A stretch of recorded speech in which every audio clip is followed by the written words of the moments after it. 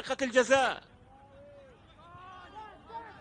تحولت إلى منتصف أرضية الملعب.